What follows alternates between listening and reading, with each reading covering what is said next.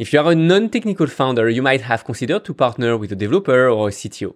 While it looks like a good idea, it's not always that easy and there are tons of pitfalls in this tricky relationship.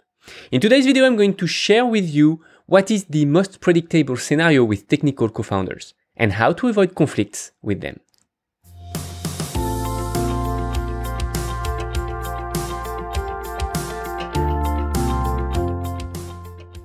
Hi, I'm Amaury, founder and CEO at My CTO Friend, where founders come to learn how to build their tech startup. With this Startup Snack series available on both podcast and YouTube, I want to share the essential to make it easier for you to build your tech startup. So to illustrate today's topic, let me share a real story that happened a few years ago.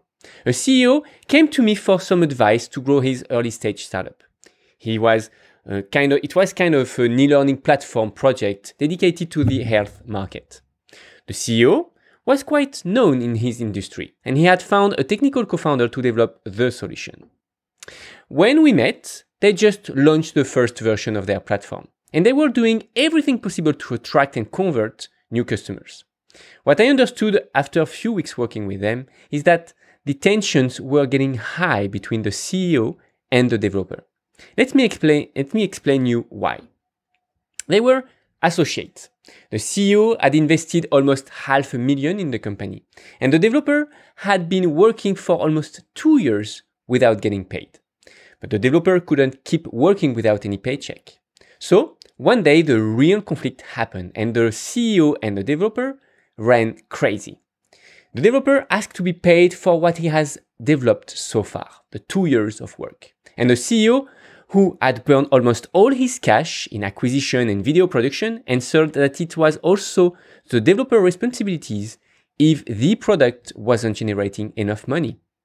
So the worst part is that after a few days, the developer turned down the server, doing blackmail with the CEO. So the CEO invited me to come to their office to try to restore the platform. They also invited the lawyer to note everything I was doing on the server and explaining what has been done by the developer. And it became like the, in the movie, like in the NCIS, you see? The developer saw my connection, so he cut my IP with the firewall. So I found a workaround, and then a while after doing what I was doing the backup, he erased the entire thing, the entire software. In a matter of seconds, the folder became empty. So what he did wasn't only to erase the software, but he installed a copy of that uh, software on his own server. And he relaunched the application from there, making it impossible to manage for the company. No need to say that after that, the conflict ruined the company. And neither the CEO or the developer got what they wanted. I didn't even get paid for what I've done with the lawyer. But anyway. So Let's analyze together this situation. Let's picture what the expected plan when we launch a company and what really happened afterwards. So the classical plan is, that, is this. You partner with a developer and you set some expectation for the end result. We build the product, we sell the product, and the team get a salary. That's what, what that's exactly what was the plan for this startup too. But instead, here is what almost always, always happens. Sales are almost always too slow.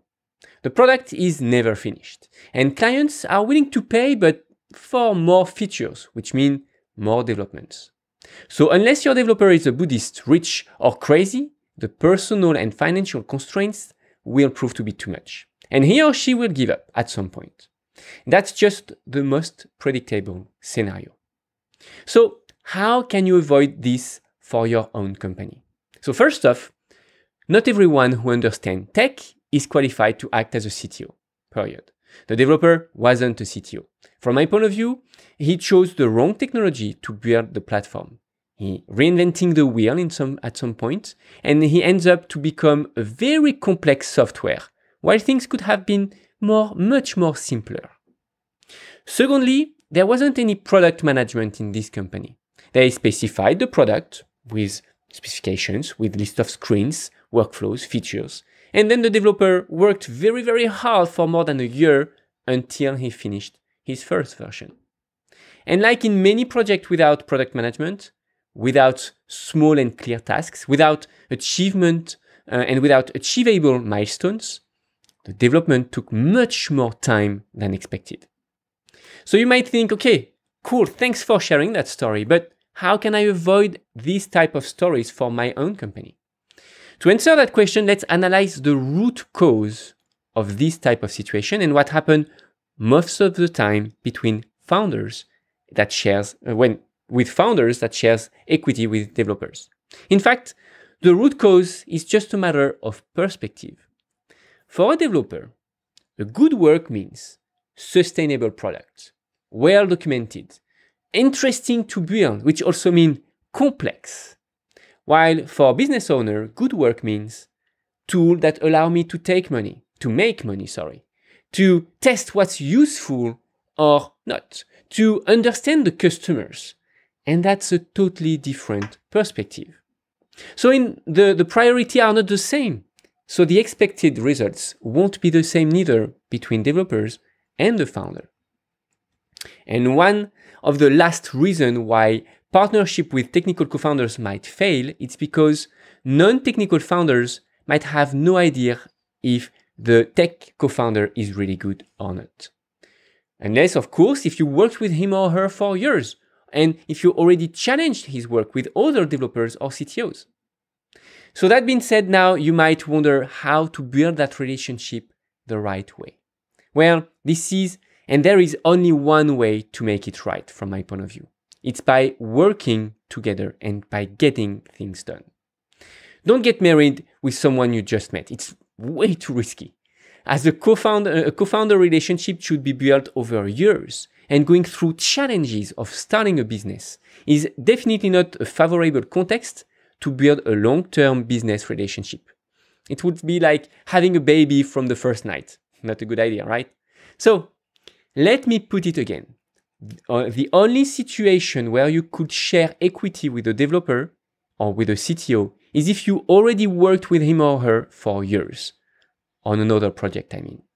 If it's not the case, I would recommend you to just work with this person on service based first and to partner after only maybe six months or one years of a successful relationship after going through some challenges and after having a first version of your product done. So now the last and maybe the most important thing to take away from this video. Ask to your future co-founder to share his work on daily basis and by sharing his work, I mean the source code through what I call a Git repository. I will put the link in the description of a video that explains how to do that.